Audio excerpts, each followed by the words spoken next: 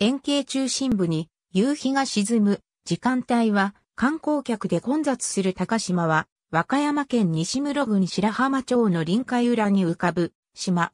国の名称に指定されている。円月島の通称で名高い。南紀白浜のシンボルの一つ。有形の名所としても知られる。春分、秋分の時期には中心部の穴を通して夕日が見える。島の大きさは南北130メートル、東西35メートル、高さ25メートル。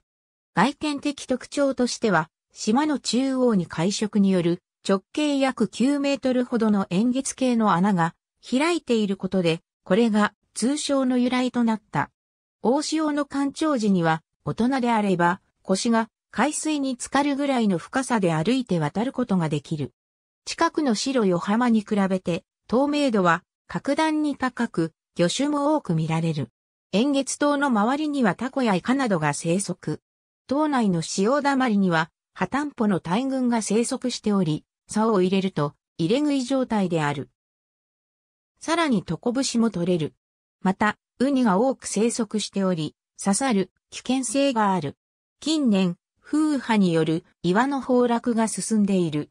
これに伴い、白浜町は2009年7月より管理者の許可なく、円月島に近づかないよう呼びかけている。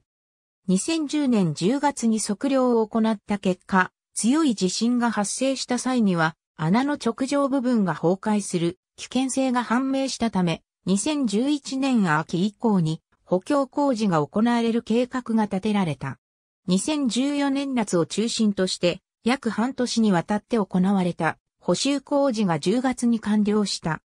1887年頃に来遊した津田正臣が読んだ五景種のうちの円月島に始まり、1889年発行の紀州西室瀬戸円山温泉図には絵画や監視とともに円月島の名が登場。